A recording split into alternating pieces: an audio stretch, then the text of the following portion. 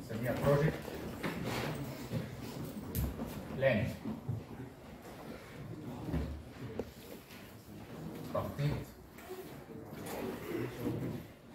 المشروع إحنا قلنا واحدة من أساسيات طبعا إدارة المشروعات وال project management إن لازم يبقى عندك time plan خطة للمدة الزمنية والبرنامج الزمني للمشروع.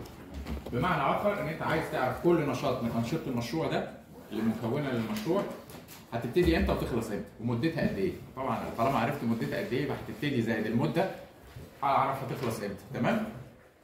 زائد علاقتها إيه؟ مكانها في فين؟ جوه جوه المشروع. لأن قلنا الأنشطة مرتبطة ببعض ولازم حاجة تبقى قبلها وحاجة بعدها وخلافه فإزاي تعمل برنامج زمني للمشروع؟ وقلنا البرنامج الزمني للمشروع ده على حسب انت في انهي مرحلة من دورة حياة المشروع. هل برنامج زمني رئيسي في الأول خالص ولا هل برنامج سيمي ديتيل نص كده ولا برنامج؟ فالكونسبت نفسها أو الفكرة إزاي تعمل برنامج زمني هينطبق على أي واحدة من دول. سواء بتعمل برنامج زمني أثناء مرحلة التصميم لإصدار الرسومات وخلاف مراحل إصدار الرسومات أو برنامج زمني لعملية الطرح على المقاولين وشركات المقاولات والدعوة للشركات والتقدم بالعروض وبعدين العروض تيجي وبعدين تفتح العرض الفني وتفتح العرض الفني. المالي وبعدين تتفاوض. كل واحدة من دي تقدر تعملها نشاط وتديها مده زمنيه يبقى عملت لها برنامج زمني. أو برنامج زمني لمرحلة الإنشاءات اللي هو أطول مدة في دورة حياة المشروع ال construction phase آه على حسب بنود الأعمال وعلى حسب العقد اللي معاك. فال concept نفسها الفكر واحد. طيب يبقى واضح كده إن أنا عايز أعرف إيه هي أنشطة المشروع. أول سؤال عشان أعرف برنامج زمني المشروع ده مكوناته إيه؟ مكونات المشروع بيتكون من إيه؟ يبقى محتاج اول أعرف أول حاجة list of activities أول خطوة لازم أعرفها list of activities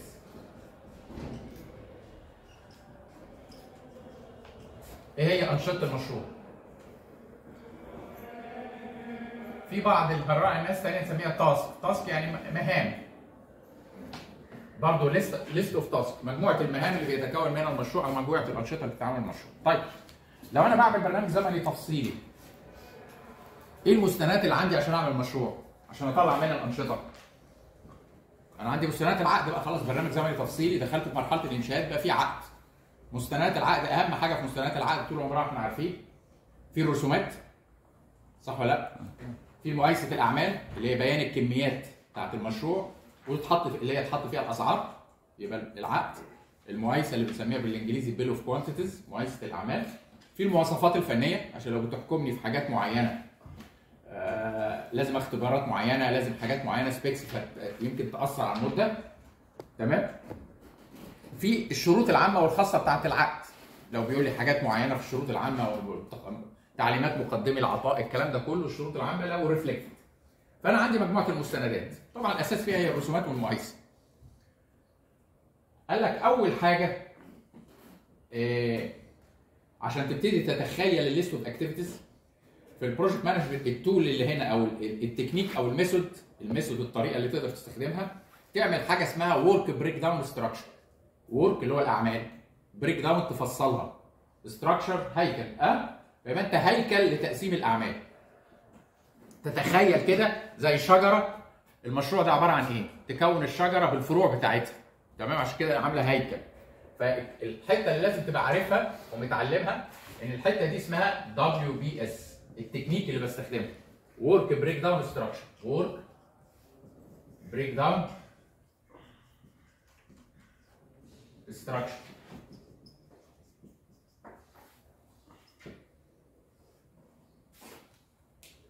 الهيكل التنظيمي أو الهيكل التنظيمي للأعمال. طبعا أنت تقرا هتطلعه منين؟ how you develop أنت محتاج تطور ال work breakdown structure تطوره. هتطوره إزاي؟ هتبص في الرسومات وهتبص في المقايسه هتفهم من الرسومات المقايسه مكونات المشروع عبارة عن إيه. تمام؟ فنيجي نفكر مع بعض كده. أنت مثلا يجي يقول لك إيه؟ عندك مشروع مبنى. building يبقى دي أول box ده اسمه المشروع اللي هو الهدف. طبعا ممكن نبقى موظفينه يعني building كذا دور مش عارف إيه.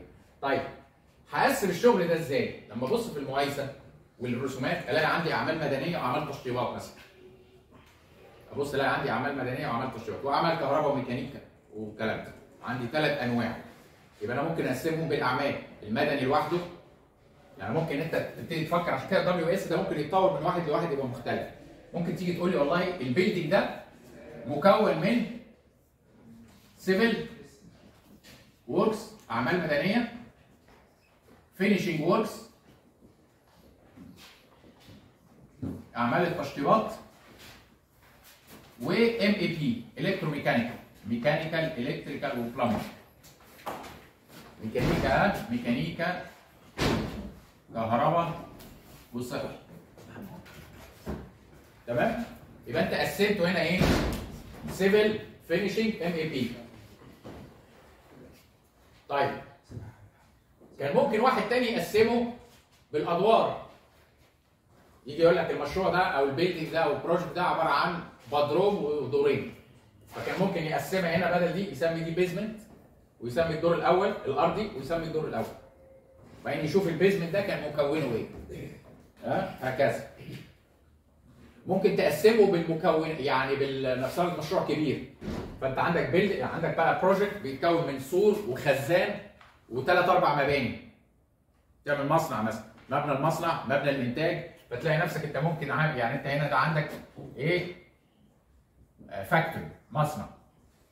تيجي أنت هنا تقول لي والله أنا هاخد ال warehouse المخازن مبنى ال warehouse لوحده. warehouse building ومبنى المصنع factory building والمصنع فيه مبنى إداري ومكاتب فتيجي تقول لي والله office building وبعدين تيجي تقول لي الموقع العام بقى فيه الشبكات شغل شبكه المية والكهرباء والصرف والكلام ده فتيجي تقول لي utilities اللي هي خدمات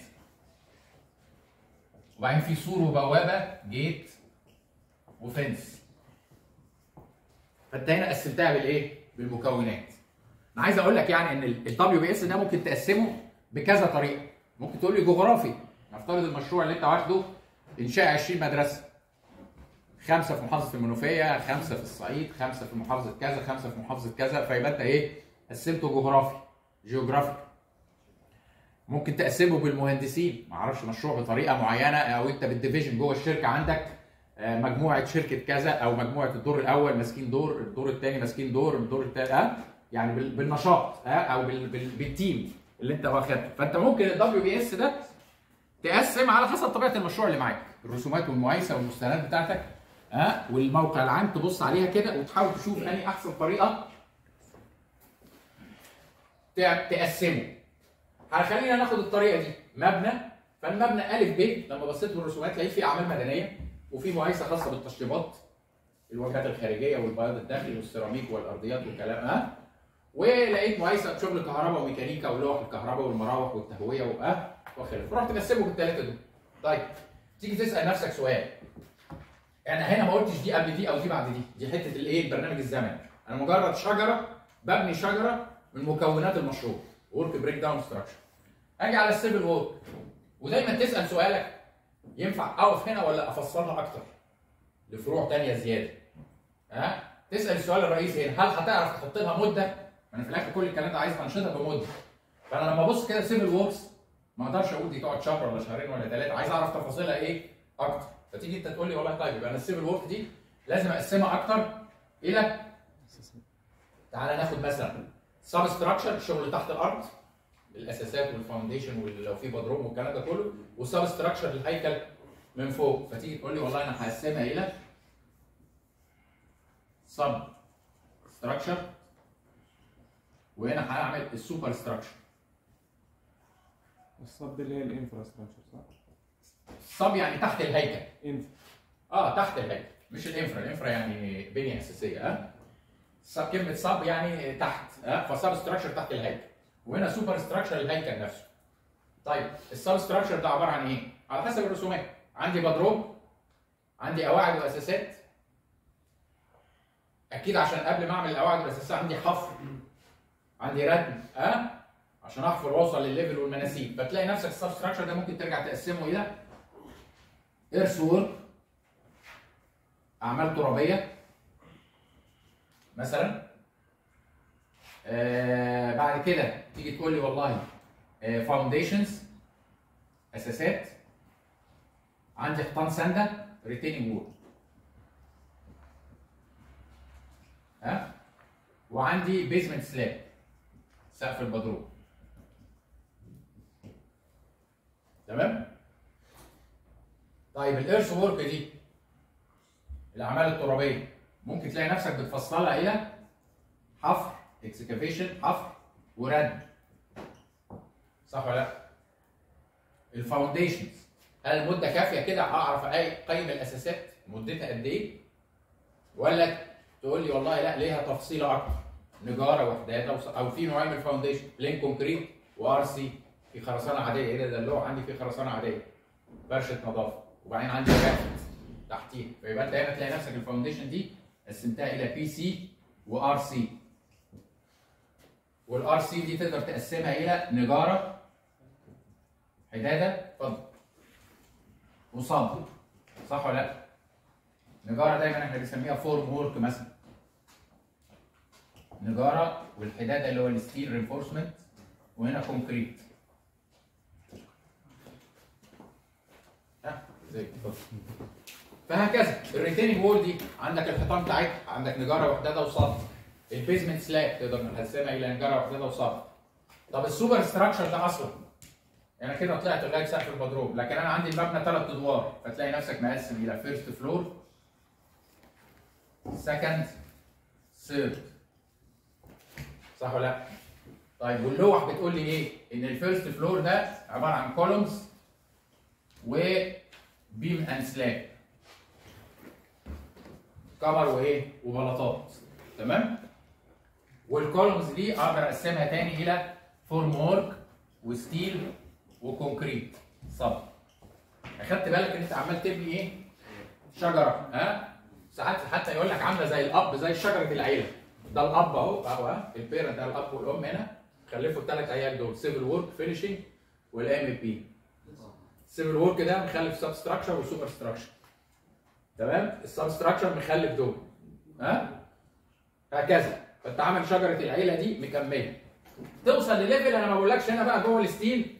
قول لي المسمار والسلك وال والكلام ده. الليفل ده مش مش عايز توصل له. المهم انت وصلت إلى حاجة كسرت المشروع إلى أنشطة تفصيلية تقدر تساعدك إن أنت تحسب الإنتاجية بتاعتها وبالتالي كميتها والانتاجيه الكمية والإنتاجية لأن أنت أي واحدة من دول تقدر تخش تحصر بقى. يعني تقدر تخش جوه الدور الأول الأعمدة تطلع من اللوح كميات الخرسانة بتاعت الأعمدة. هتلاقي نوع اسمه C 1 ونوع اسمه C 2 ونوع C 3 وفي جدول الأعمدة حاطط لك مقاس ال C 1 الارتفاع بتاعه الطول في العرض ها؟ نسبة البريس هتقدر تحسب الكميات بتاعته. وبالتالي قدرت تحسب كمية الخرسانة قدرت تحسب كمية الحديد التسليح بتاعه وأوتوماتيك تقدر تحسب النجارة لو أنت عايز تحسبها ها؟ هكذا. فأنت عرفت توصل للكميات. الكميات عن طريق الكميات هوصل للمدة. ما أنا في الآخر برنامج زمني عبارة عن نشاط وعبارة عن المده ها؟ فالمده عبارة عن الكمية مقسومة على الإنتاجية. بعمل كام طن في اليوم مثلا؟ فاقسم دي على دي. ها؟ بند الحفر. حصرت الحفر. طلع عندي 10000 متر. بعمل 1000 متر في اليوم يبقى 10000 على 1000 يبقى إيه؟ 10 أيام. هكذا. فأنت هنا كونت دي أهم تكنيك تبقى متعلمها دايما في البرامج الزمنية. ال work breakdown structure تقدر تعمله لأي مشروع. وعلى حسب طبيعة المشروع عايز تقسمه جغرافي عايز تقسمه بمكونات المشروع عايز تقسمه بالمهندسين ها وخلافه المهم إن أنت تكون الشجرة بتاعة المشروع ال WBS دي كمان بتفيدك بقى في حاجات تانية بعد كده لما تيجي تقدر تتابع عليها انت ممكن تتابع بال WBS ده. الشغل اللي يخلص تلغيه يعني تخيل انت عامل كل الكلام ده بوكسات أو تلونه. لما تيجي تعمل تقرير مثلا بعد شهر ولا حاجة نوع من انواع التقارير اللي تطلعها الحاجات اللي خلصت شيلها. أو الحاجات اللي خلصت تقلبها لون أخضر. الحاجات اللي شغالة قلبها لون مثلا آه، أحمر. ها؟ أه؟ هكذا. فتقدر تقدر يقدر يساعدك دايما ساعات التقارير الملونة اللي فيها رسومات بتبقى أسهل شوية من الكلام.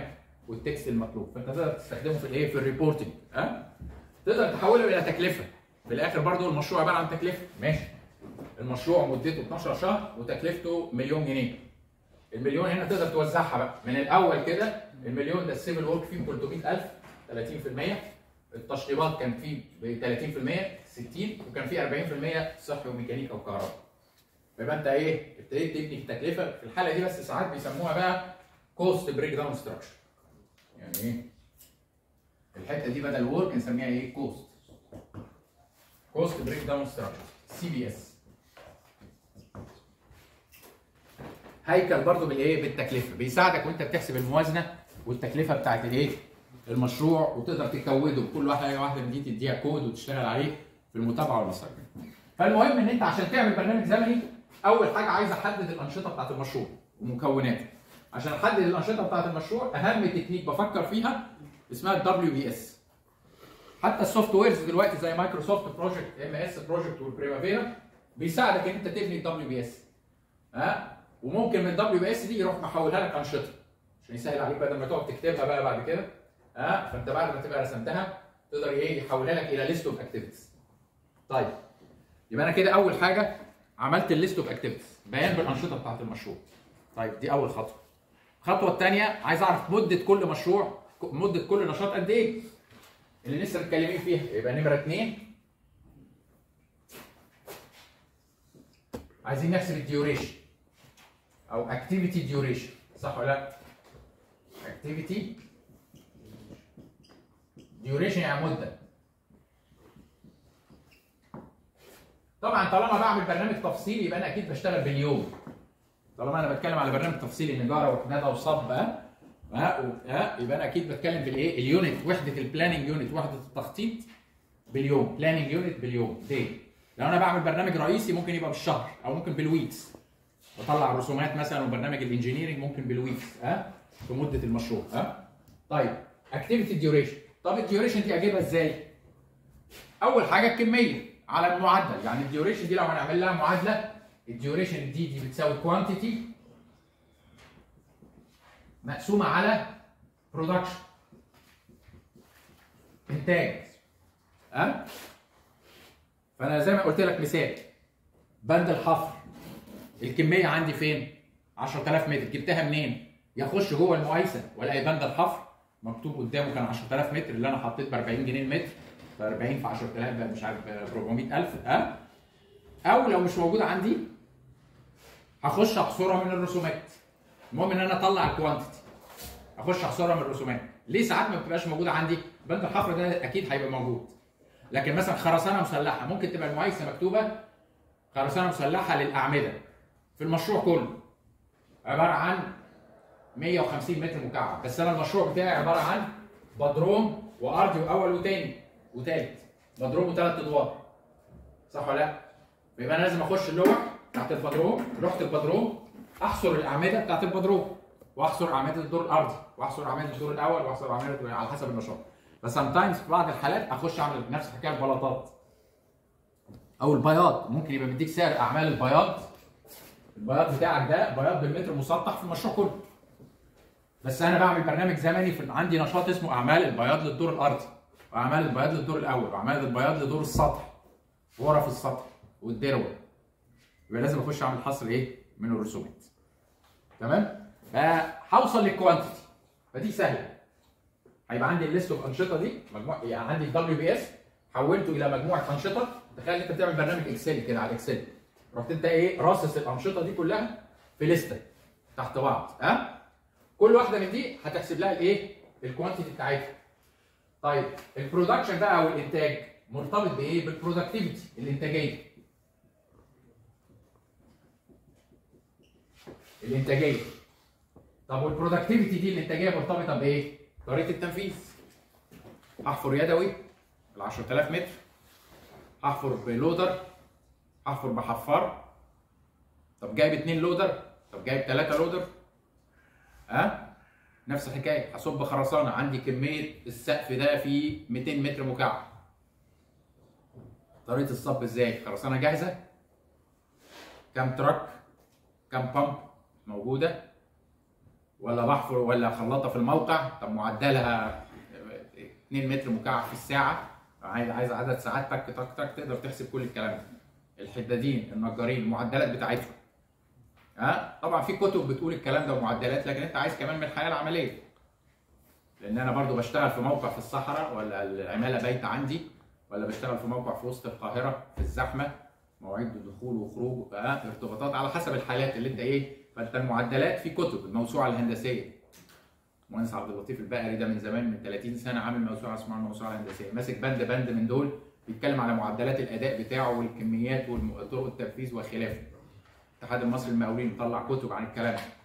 آه، هتشتري Caterpillar ولا المعدة ولا اللودر؟ هتلاقي في الكتالوج بتاعها معدلة تعمل كذا في الساعة. بس طريقة التشغيل ها؟ أه؟ فالحاجات دي كلها لازم تظبطها عشان تقدر يبقى انت هنا أهم حاجة عندك دخلت في حتة ال method statement طرق التنفيذ. على الأقل البنود الرئيسية. المبيض البنا بيفرد كم متر مسطح في اليوم. هكذا. بيبني كم متر مسطح في اليوم. في جزء نظري وفي جزء من الناحية العملية لازم تحطها. وإمكانيات الشركة. لأن عشان كده البرنامج الزمني ده كلنا متفقين إن المشروع يخلص في 12 شهر وهنعمل برنامج ب 12 شهر. لكن معدلاتك من جوه وال resources دخلنا في حتة ال resources وإمكانيات الشركة. هتعرف تجيب لك اللودر ولا الونش البرجي ولا دي ولا دي ولا دي؟ ها؟ عشان تقدر تحقق المعدلات وعشان تقدر تحقق الإيه؟ المدة الزمنية. فأنت هنا اتكلمت شوية على method state يبقى بند بند من دول لازم تبقى أنت حاطط المعدات والعمالة بتاعتك إيه؟ وبالتالي دي هتسمع معاك في ال production ال pro- تقسم الكمية على ال production حسبت الإيه؟ ال duration طيب. كده يبقى أنا كل الأنشطة بتاعت المشروع عرفتها. من أول الحفر لغاية عزل السطح فوق وتركيب بلاط الموزايكو اخر حاجة مثلا في المبنى. عملت لستة من 100 نشاط في المشروع. ولكل نشاط من دول حسبت له المده الزمنيه الحفر 10 أيام خرسانة عادية أربع أيام مش عارف نجارة إيه للسقف كذا عزل السطح فوق في الموزايك ومش عارف تركيبه ثلاث أيام حسبت المدة الزمنية. طيب عايز انتقل اللي بعد كده. الهدف الرئيسي برنامج زمني إن أعرف النشاط ده يبتدي إمتى ويخلص إمتى. لو سألتك بقى بند العزل فوق بتاع السطح ده اللي أنت حاطه عزل حراري ولا عزل رطوبة ممبرين هتركبه إمتى؟ طبعا ممكن أسألك هتورده إمتى كمان قبليها؟ لو هي فيها خامات ممكن في البرنامج الزمني تعمل جدول برنامج للتوريدات تطلع برنامج توريدات من برنامج التركيبات. أنا مش هقدر أركب وأعزل فوق السطح membrane إلا لو أنا اشتريت البيتومين ووردته الموقع مش هقدر اشتغل حديد حديد الدور الأرضي ولا حديد الدور الأول إلا لو الحديد عندي في الموقع فأنا ممكن أطلع بقى كمان جدول بالتوريدات. مش هقدر أركب الأسانسير والمصعد أو مواسير التغذية إلا لو المواسير أصلا اتوردت. ها؟ فالبرنامج الزمني ميزته إن أقدر أطلع منه جدول توريدات. إمتى أنا عايز التوريدات دي؟ ولو التوريدات دي long lead في بعض التوريدات بتاخد وقت. طرمبه أسانسير حاجات المستوردة تقعد بالاربع خمس ست أشهر. يبقى أنت من بداية المشروع لازم تطلع لها الإيه؟ الأوردرات بتاعتها. ها؟ فيبقى أنت تقدر تطلع منها جدول التوريدات وجدول التوريدات المهمة الرئيسية اللي بتاخد time طب وأنا هورد كده على طول؟ هورد الطرمبه ولا الأسانسير ولا المصعد ولا الحديد تسليح؟ ولا لازم قبليها حتة engineering في حتة هندسة قبلها؟ أنا معايا لوح آه. بس محتاج أحصر وأطلع الحديد الفعلي. محتاج اعمل shop drawing اللي هي رسمه تنفيذية. لأن الرسومات اللي طالعة في التصميم ما بيدينيش الحديد الإضافي ما بيدينيش الأطوال بتاعت الفواتير ما بيدينيش كذا وما بيدينيش يعني أو بيديني indication ها؟ flat slab مديني الفرش والغطا بتاعها وخلاص وزاد ست. ها؟ ان أنت لازم تخش تشتغل إيه؟ وتطلع رسمة تنفيذية. الرسمه التنفيذيه تطلع منها الإيه؟ ال bar bending list تمام؟ حصر الحديد وبالتالي حصر ال bar bending list حولتها say phi 16 phi 18 phi 22 حولتها إلى إيه؟ اقطار وإلى كذا طن. اللي تدي لي بتاع المشتريات عشان يعمل لك الإيه؟ ال order. فيبقى أنت عندك حتة engineering يبقى لازم يتضاف لك كمان أنشطة خاصة بال engineering طيب هل أنا هروح أشتري الحديد ده حديد عز ولا حديد الصلب آه، السويس للصلب ولا بشاي ما يمكن المواصفات والعقد محدد لي أنواع معينة. ما يمكن في المواسير أشتغل Aquatherm ولا أشتغل Banninger ولا أشتغل دي ولا أشتغل دي ها؟ هكذا. فيبقى أنت عندك كمان غير إن أنت تحسب حتة engineering بالكميات والحصر بتاعها عشان ما توردش غير الكمية اللي انت عايزها بالظبط. مع الهالك طبعا يعني. انت كمان لازم تعتمد من الاستشاري أو من المالك المواد اللي هتتورد وتركب. يبقى عندك مرحلة اعتماد إيه؟ الخامات والمواد. كل دي أنشطة تقدر تضيفها في البرنامج مكملة لنشاط التنفيذ ده. يعني وأنت بتعمل البرنامج لازم هتدخل معاك أنشطة التوريد وأنشطة اعتماد الخامات وأنشطة الرسومات وال engineering اللي بيتم في الأول. اللي هي المراحل الأولانية دي كلها. طيب. أنا عندي الانشطه وعندي المده الزمنيه بتاعتها. عايز ابتدي أحط لها المده الزمنيه. طيب اهم حاجة بقى في المده الزمنيه دي إيه؟ مكان النشاط ده فين؟ في المشروع. زي ما قلت لك كده العزل السطح. مش هقدر اعزل السطح إلا لو السطح أصلا موجود. مش هقدر أبيض الحيطة إلا لو الحيطة مبنية. مش هقدر أبني الحيطة إلا لو كنا صبينا السقف وفكينا الشدة. تمام؟ فيبقى مكانها فين بالبرنامج ابتديت هنا لازم أكون فكرة relationships علاقات. فيبقى الخطوة الثالثه establish أو جهز أو اعمل activity relationships العلاقات بين الأنشطة.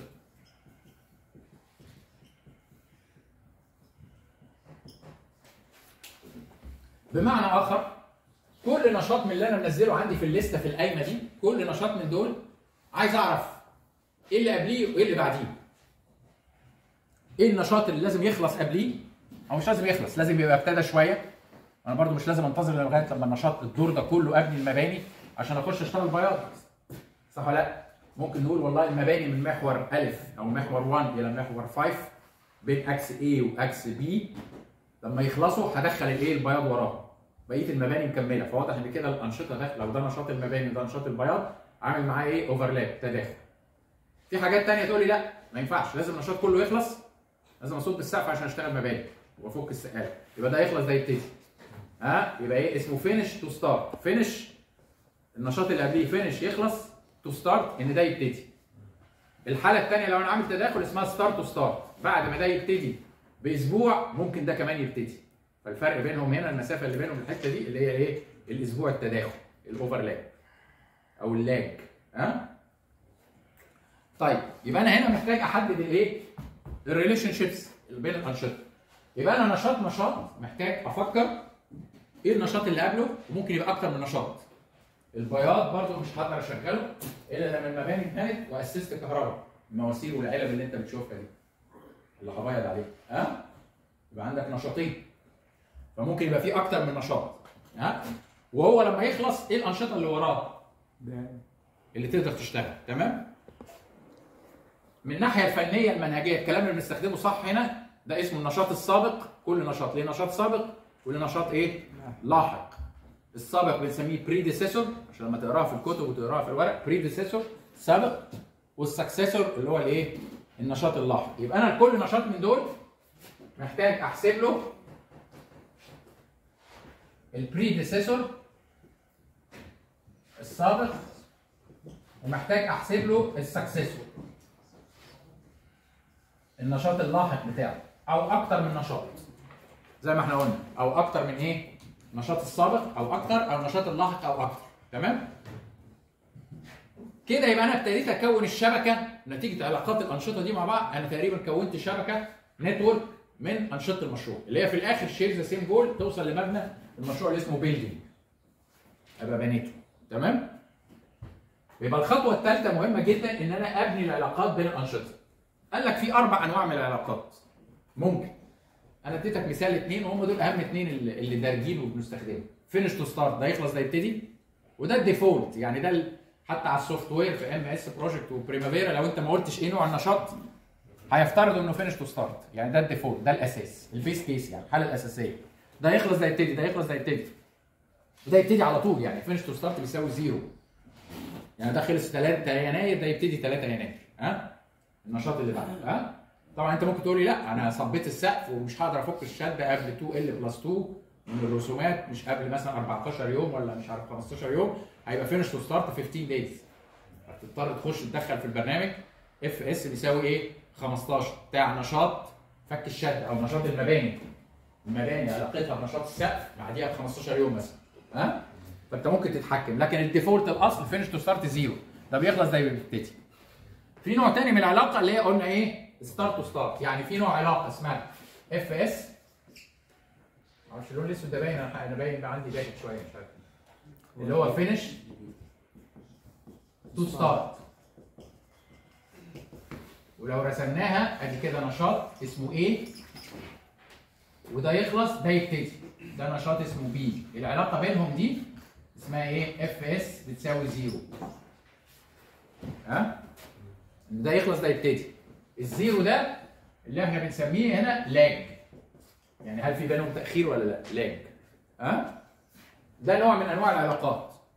العلاقة الثانية ناخدها فوقيها SS اللي هي start to start start to start بداية مع بداية. بربط البداية بتاع نشاط A بنشاط B.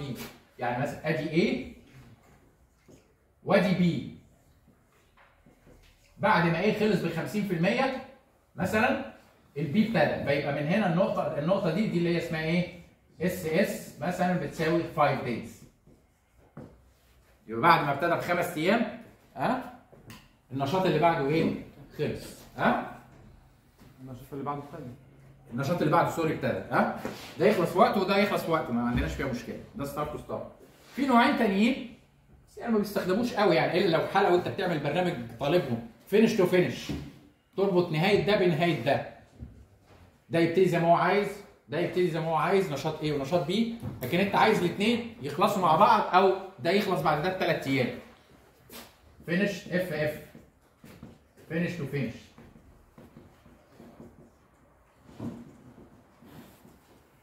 أدي A وأدي B بس انت عايز ال A مع ال B هي دي ال FF مثلا بيساوي خمسة. إن ال B خلصت خمس أيام بعد ال A يعني بتختبر مثلا مصاعد أو شغل الاختبارات. الاختبارات لو أنت بتعمل testing and commissioning بند اسمه اختبار بتختبر المصعد أنت ركبت المصاعد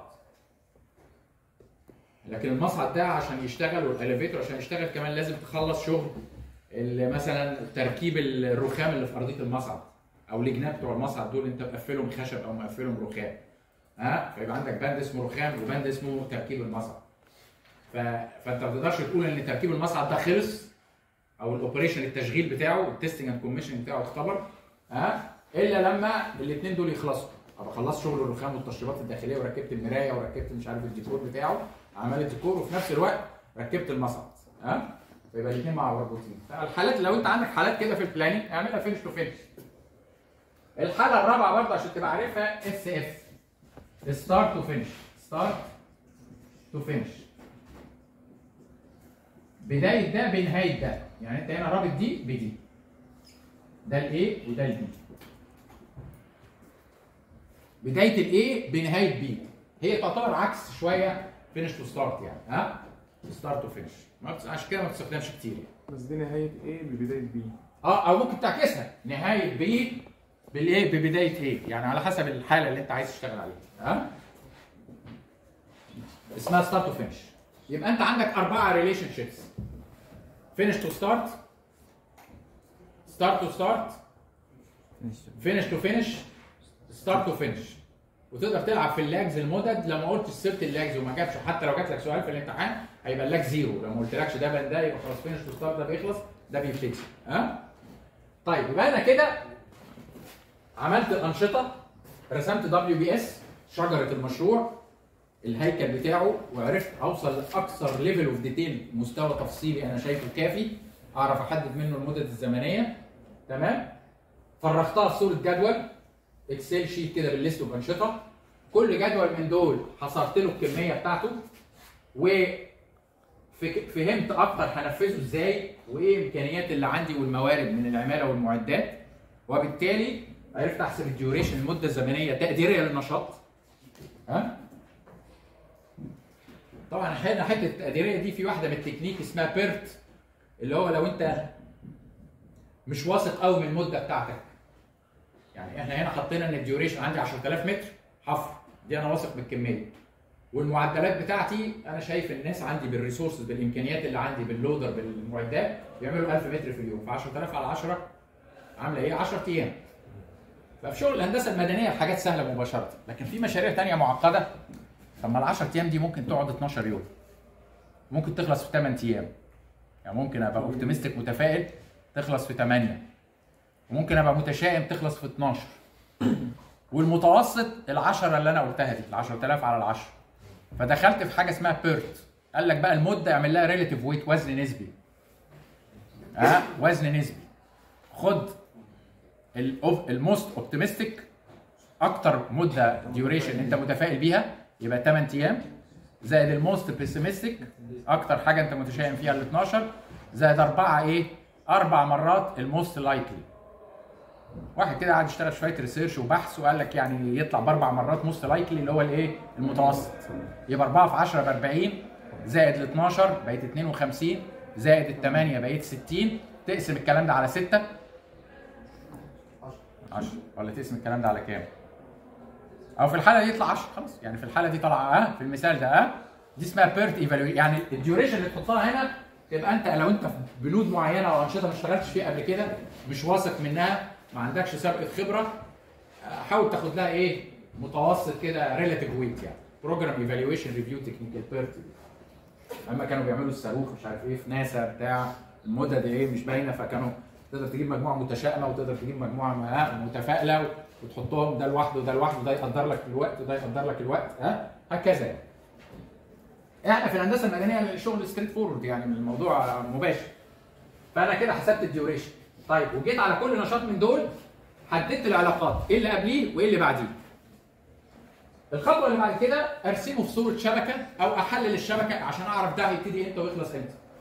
لو حطيت ميعاد النهارده على 1 فبراير مثلا لأول نشاط أقدر أسلسل هذا الموضوع. فخليني احطها لكم مثلا في صورة إيه؟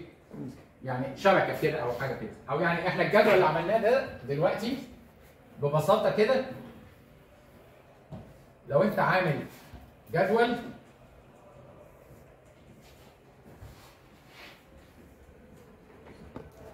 أنت هنا عامل activity ID زي رقم قومي كده عشان تسهل على نفسك. وبعدين activity description اللي هو الوصف. نشاط كذا نشاط كذا نشاط كذا. هنا حسبت إيه؟ ال duration ال duration صح ولا لأ؟ في ال days بعد كده دخلت أنت في الإيه؟ ال relationships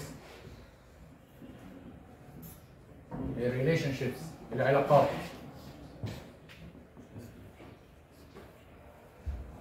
فتعالى مثلا ال activity ID ده إيه؟ ده عشان شغل ال software والبرامج أنت أنا عمال أقول لك انشطه المشروع طبعا مش أقل من 700 نشاط 800 نشاط مشاريع عدد انشطه كده. فعشان تفلتر بعد كده أنت تقدر تدي activity إيه؟ ID ال ID ده ممكن يبقى 1 2 3 4 5 6 ممكن يبقى 10 20 30 ويفضل حاجة كده على أساس لو نسيت نشاط وأنت شغال تضيف. نشاط رقم 12 لكن 1 2 3 هتضطر تعيد تاني الايه؟ الترقيم. ده في أبسط صور إن أنت تعمل نشاط 10 20 30 40 50 60 حاجة كده. ال softwares بقى بتسمح لك كمان النشاط ده ال ID ده ال identification ده ممكن لغاية مش عارف تسع أرقام تسع الفا يعني تسع digits يعني لغاية مليون ولا 9 مليون ولا ما أعرفش كام. plus بقى ممكن تدخل alphanumeric أرقام مع حروف. فتيجي أنت بقى أي حاجة فيها شغل civil خد مثلا كلمة civil CIV في الأول.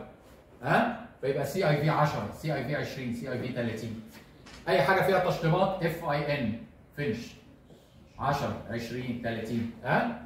أي حاجة كهرباء MEP ها؟ أي حاجة engineering هندسة والرسومات اللي قلت لك عليها سميها E في الأول. أي حاجة material توريدات اعمل لها material يعني قصدي ممكن تعمل أنت كود ده قصة ثانية classification يعني. كود تصنيف كده زي تصنيف التربة بالأنواع بتاعها. فانت تعمل activity ها ID و classification بتاعك وتفترضها assumption في البداية وانت بتعمل البرنامج. تقدر تربطه طبعا بال WBS شوية ها؟ ال classification عشان تساعدك في الآخر إحنا هنعمل برنامج زمني عشان نتابع عليه ونطمن الراجل ده شغال وموفر الموارد ولا لأ قصة الإدارة دورة الإدارة اللي إحنا قلنا عليها دي. في الآخر عشان أقدر أطلع report ات ولو في انحراف أعدل في الانحراف وأقلل التأثير بتاعه على التكلفة والوقت أو لو أنا سابق خير وبركة. فيبقى أنا عايز أطلع report ات. ال report ات دي بتساعدني لو أنا عامل activity ID و activity classification تصنيف سريع. اطبع لي كل يا كمبيوتر اطبع لي كل من ال software كل اللي واخد FIN كل التشطيبات كل اللي واخد FIN ودور أول. لو أنت عامل classification يعني ها؟ هيطبع لك كل أنشطة الدور الأول تشطيبات. اطبع لي كل شغل الخرسانة اللي تحت الأرض ال substructure ها؟ اطبع لي كل شغل الخرسانه اللي انت مديله حرف earthwork شغل الأعمال الترابية. هكذا ها؟ فيبقى انت تقدر تعمل فلتر في ال report بتاعك يساعدك على حسب انت انهي. أنا ماليش دعوة دلوقتي بالسقف. لو أنا لسه ما وصلتش السقف أنا شغال تحت الأرض. فأنا عايز الأنشطة بتاعت الإيه؟ تحت الأرض. أو أنت عندك مهندس بعد كده مسؤول عن ال finishing أحمد فأنت ممكن تطبع لي كل الأنشطة بتاعت المهندس أحمد. أنت ممكن تدي بالأسماء ها؟ بال team يعني ها؟ هكذا. فالمهم إن أنت عندك ID ب classification بتصنيف أنت بتتحكم فيه زي ما أنت عايز ب classification فهنا 10 دي مثلا نشاط 10 ده مثلا حفر. نشاط 20 دي PC خرسانة عادية. نشاط 30 دي نجارة formwork لل RC foundation نجارة للقواعد المسلحة. ال steel ده steel النجاره مش عارف إيه. هكذا. ها؟ من ال list of activities ال duration ده هنا 10 أيام. ال PC ده مثلا يومين. ال formwork نجاره 3 أيام. الحديد 4 أيام. ماشي؟ يبقى ده ده يعني أنت حاطط في صورة جدول Excel البيانات اللي أنت عمال تطلعها من الرسومات من ال WBS وال list of activity ها؟ حطيتها كده. طب ال relationship تيجي تقول لي والله بند الحفر ده ده أول نشاط في المشروع. فمالوش إيه؟ predecessor ملوش حاجة سبب أول نشاط ملوش حاجة قبليه. واخر نشاط تسليم المشروع ملوش حاجة إيه successor ملوش إيه نشاط لاحق ها؟ فانت هنا ال activity relationship دي انت ممكن تقسمها إلى حاجتين. predecessor اللي هو السابق وإيه؟ successor النشاط اللاحق فتيجي تقول لي نشاط 10 ده zero dash ها؟ ملوش سابق والسكسسور بتاعه نشاط إيه؟ 20 وتيجي على نشاط 20 ده السابق بتاعه إيه؟ 10 واللاحق بتاعه إيه؟ نجارة الع- يبقى 30 وتيجي تقول لي نشاط 40 ده السابق بتاعه 30 واللاحق بتاعه مثلا 50 أو ممكن تقول لي 50 و60 زي ما قلت لك. ممكن يبقى إيه؟ اللاحق بتاعه كذا نشاط أو السابق بتاعه إيه؟ كذا نشاط. يبقى أنت هنا كونت الجدول أنت هنا مش هتعرف تعمل أكتر من كده. الباقي لازم تخش على ال software طبعا إحنا على مستوى ال sheetات بتاعتنا والامتحانات والكلام ده إحنا بنحلها يدوي. يعني يعني يجي لك سبع ثمان أنشطة ها؟ ومديك أنا المدة ومرسوم في الشبكة شكل العلاقات وبالتالي أنت بتخش تحل الشبكة اللي هي الخطوة الأخرانية دلوقتي. نحل الشبكة يعني إيه نحل الشبكة؟ نعرف بقى النشاط ده يبتدي إمتى بقى ويخلص إمتى. يبتدي إمتى ويخلص إمتى؟ لغاية دلوقتي ما تعرفش. لو قلت لك نشاط 40 حداده للقواعد المسلحة هتقول يا فندم بياخد أربع أيام. بس استنى بقى خلينا أحسبها كده ده قبليه 50 و60 ويخلص مش عارف إيه. دي الحتة اللي عايز تحسبها بقى دي اللي هي إيه؟ تحليل الشبكة. عشان احسب أعرف ال start date وال end إيه؟ date بتاعه. لو أنا مدخل الكلام ده على software لو معايا ده أخش أنا بقعد على ال software خلاص مش محتاج أكتر من كده. ها؟ طيب يبقى الخطوة اللي بعد كده عايز أحلل الشبكة. قال لك الأنشطة دي لو رسمتها مع بعض بتكون شبكة. الأنشطة دي لو كونتها مع بعض علاقتها دي عملت لي شبكة. لو أنا حللت الشبكة دي يبقى أنا وصلت لل early للمواعيد المبكرة والمواعيد المتأخرة بتاعت المشاريع. تبتدي إمتى وتخلص إمتى. هنا اخذنا خطوتين في علم ال project management قال لك في طريقتين ترسم الشبكة بتاعت المشروع. يا سهم يا box صندوق بالبلدي كده. هي اسمها activity on arrow يعني هي ترسم الشبكة activity on arrow يعني كل سهم خط بيمثل إيه؟ نشاط. activity on arrow diagram يعني diagram diagram يعني رسم ها؟ ده بديل. البديل الثاني activity on box هي بصراحة اسمها العلمي مش box يعني ده اسمها البلدي box لكن اسمها العلمي PDM precedence diagram يعني دي ADM arrow diagram ودي PDM يعني إيه الكلام ده؟ هرسمه لك بسرعة كده. الشكل ده والشكل ده ها؟ لكن الاثنين يدوك نفس النتيجة. أنا برسم برسم برسم الأنشطة بتاعتي دي في صورة شبكة. وهحلل الشبكة. ممكن يبقى طريقة تحليل الشبكة مختلفة من طريقة لطريقة ال arrow عن ال PDM ولكن في النهاية مواعيد الأنشطة هوصل لها سواء هنا صح أو غلط. ال default معظم ال softwares كلها والبرامج شغالة بطريقة الإيه؟ ال PDM بتاعت ال box. لأنها أسهل شوية في ال- ال box جواها كل البيانات. جواها اسم النشاط ورقم النشاط وال duration ويبتدي إمتى ويخلص إمتى. الثانية بتاعت السهم بتلخبطك سنة كده شوية. ها؟ ال activity on arrow تترسم حاجة زي كده.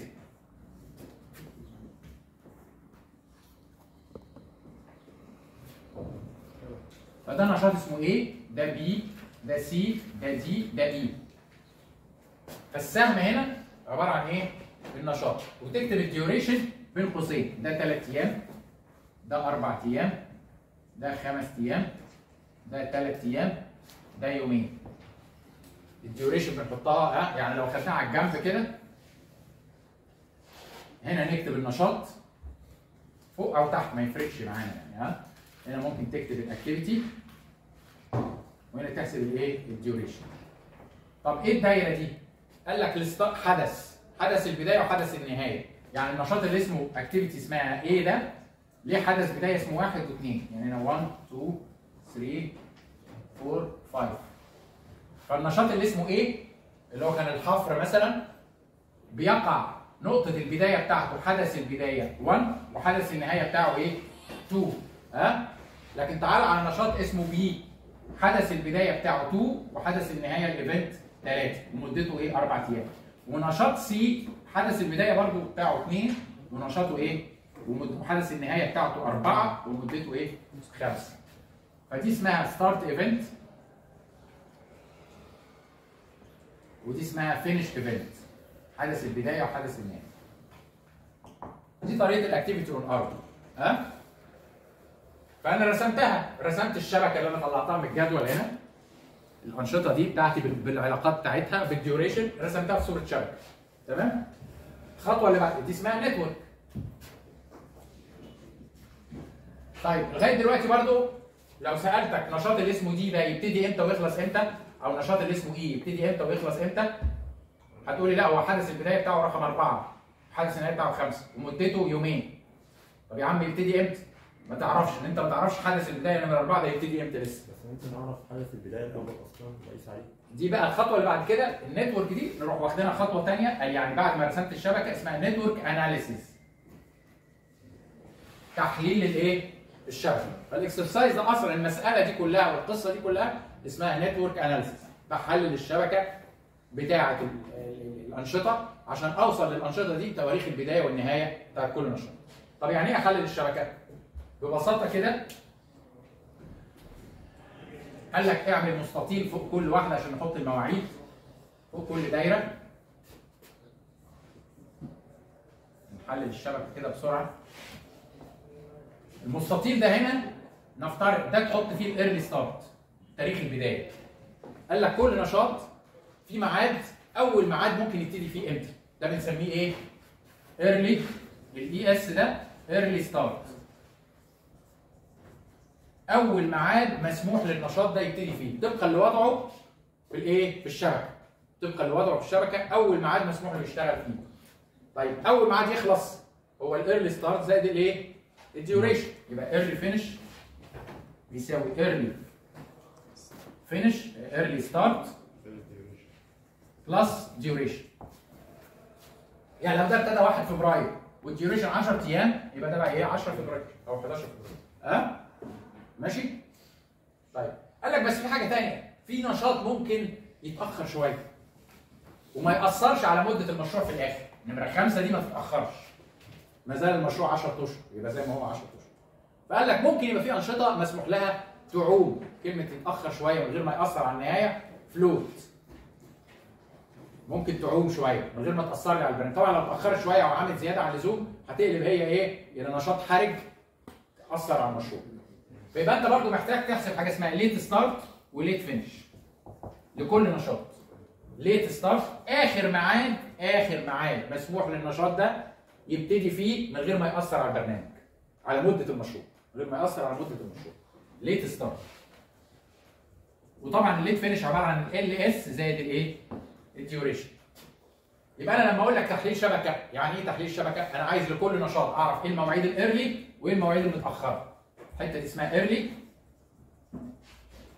early dates المواعيد المؤخرة. ودي اسمها late dates وهتكتشف لما تحلل الشبكة مواعيد متأخرة. لما تكتشف المواعيد الايرلي ديتس هو الايرلي ستارت والايرلي فينش الليت ديتس هو الليت ستارت والليت فينش هتلاقي بعض الأنشطة الايرلي هو الليت وبعض الأنشطة الايرلي مختلف عن الليت اللي هي المسموح لها تقدر تعوم شوية وتقدر تتأخر يوم اثنين ثلاثة على حسب بقى ال float بتاعها مدته قد إيه.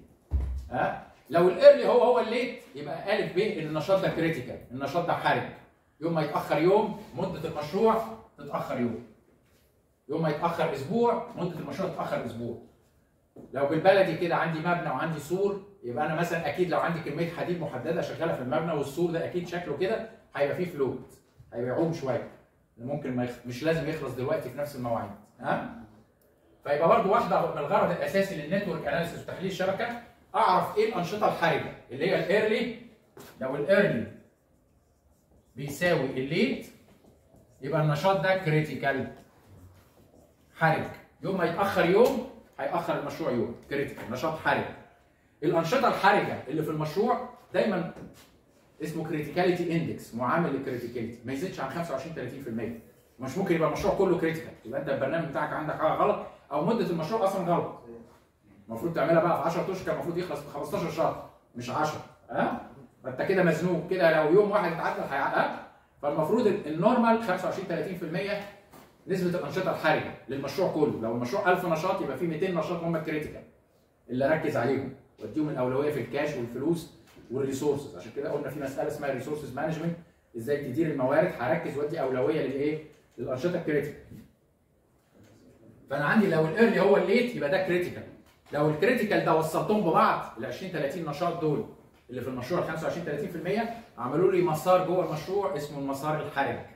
مش كده برضو التكنيك دي اسمها ساعات critical path method اعمل برنامج بطريقة ال critical path method critical path method يعني أنا أحلل الشبكة وأحدد للأنشطة دي المواعيد ال early ومواعيد ال late وأشوف أنهي عنده float ولا لأ. اللي float zero ال float بتاعه zero وطريقة التعويم بتاعته zero ال early هو هو ال late يبقى النشاط دي critical الأنشطة critical لو وصلتها ببعض تبقى هي تكون لي حاجة اسمها critical path المسار الحرج CPM critical path method طريقة المسار الحرج تمام؟ لأن ممكن واحد تاني يعمل يرسم البرنامج ده على Excel. برات نقعد نرسمها على ال Excel. لكن طبعا دي مش طريقة المسار الحرج. يوم ما تيجي تتابع النشاط ده اتاخر انت ما تعرفش مسمع ال successors بتوعه إيه. مش هتعرف. هتوه بقى وسط 1000 إيه؟ نشاط. لكن ال softwares بتاعت MS Project و MS Planner وال Primavera والحاجات دي بت- بتقوم على مبدأ ال CPM critical path method أحدد فين الأنشطة ال critical اللي هو ال early هو هو ال late اللي ما فيهاش float ال float بتاعها ب zero. وبالتالي الأنشطة دي اللي أنا أركز عليها. تمام؟ تحليل الشبكة بسرعة كده. لو إحنا هنا ده أول يوم كان zero. يبقى النشاط ده 2 ده يشتغل إمتى؟ 0 زائد 3 يبقى ده 3 صح ولا لا؟ الثلاثه دي 3 زائد 4 تنزل هنا إيه؟ 7 والثلاثه زائد الخمسة تنزل هنا إيه؟ 8 طب تعال على ال event بقى. هنا بقى ده نشاط خمسة ده. sorry ال event رقم خمسة داخل عليها اثنين فقال لك دي ما تشتغلش غير لما الاثنين يبقوا لازم يبقوا خلصوا. فأنت لازم تاخد الأكبر. لما يبقى عندك حاجة رايح عليها اثنين أو أكتر يبقى لازم تاخد الإيه؟ الأكبر. هنا هيبتدي فكرة ال float واحد يخلص بدري شوية لكن قاعد منتظر لكن ها عشان الثاني هو critical ها فهنا التالت 7 زائد 3 تدي 10 8 و2 16 هنا بالصدفة دي كنت غلط. خلينا نعمل دي 3 بقى ها؟ و8 زائد 3 تدي إيه؟ 11 تكتبها من بره. يا دي 11 يا إما من المسار من هنا 7 زائد 3 تدي إيه؟ 10 آخد ال greatest آخد الاكبر دي مش هتشتغل غير لما الاثنين دول يخلصوا. فيبقى هنا أحط إيه؟ 11 تمام؟ الحتة اللي أنا حليتها دي اسمها المسار الأمامي. جبت بيها ال early dates أرجع بقى backward أرجع خلفي كده هجيب ال late dates 11 11 آخر نشاط في المشروع زي أول نشاط 0 0 لازم يقفل 0 المشروع ده لازم يخلص في 11 يوم أو 11 شهر. يبقى ال early هو هو إيه؟ ال late يعني ما ينفعش في العقد أقول له ها؟ فيبقى 11 11 هنا أرجع بقى بالناقص. 11 ناقص 3 تدي 8 11 ناقص 3 برضو. هنا لخبطنا شوية لكن 11 ناقص 3 8 تمانية. ماشي؟ 11 3 8 هنا الاثنين بقى الاثنين دول راجع عليها إيه؟ 2 راجع آخد الأقل.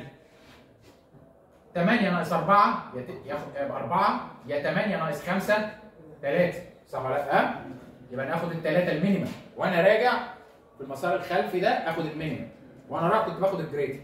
3 ناقص 3 تدي zero لازم تقفل معايا هنا الحتة دي اسمها ال early start وده اسمه ال late start الطريقة دي بتلخبط في إيه بقى؟ لأن زي ما أنت شايف كده ساعات بعض الدوائر دي بستخدمها مرتين لكن لو جيت قلت لك دلوقتي نشاط رقم A ده الحفر يبتدي يوم إيه؟ ال early start هتقول لي يوم zero اللي هو مثلا النهارده 10 فبراير ولا ما أعرفش النهارده كام 28 فبراير ها؟ طب النشاط ده يخلص إمتى؟ هتقولي ده يخلص ثالث يوم في المشروع تمام؟ طب نشاط رقم سي هتقولي ده يبتدي في اليوم الثالث في المشروع ويخلص اليوم الثاني الايرلي ديت بتاعه. ولازم برضو الثالث الليت ويخلص 8 طب هنا نشاط رقم ده يا 8 ويخلص 10 يا 8 ويخلص إيه؟ 11 سوري 8 يخلص 11 لكن هنا كان نشاط 3 5 ده. يبتدي يوم 7 ويخلص 11 11 ها؟ عنده لغايه 11 ها؟ يا يبتدي يوم 8 ويخلص برضو إيه؟ 11 ها؟ طب لو أنا قلت لك فين النشاط ال- فين المسار الحرج؟ اللي هو ال early هو هو الايه 0 0 8 8 11 11 فيبقى ده هو الايه بيتعمل باللون أحمر. النشاط الحرج بتاع المشروع هو ال A وال C وال D معناه النشاط ال B ده والنشاط ال E يقدر يتأخر بين يقدر يتأخر يوم اكشن ها في الموضوع ده. نفس الطريقة دي لو قسمتها بوكس. الأسبوع الجاي هتكلم شوية على طريقة البو... لو حليناها بطريقة البي دي ام ها؟ هنحلها برضه لكن هي نفس الحكاية. المسار الأمامي والإيه؟ والمسار الخلفي. أحسب الايرلي وأحسب الليت وأطلع منه التوتال فلوت التعويم لو التعويم زيرو الفلوت بتاعه زيرو يبقى النشاط ده كريتيكال الانشطه الكريتيكال لو وصلتها ببعض يبقى أنا عملت كريتيكال بلس اسود والكريتيكال المسار الحرج داخل المشروع تمام؟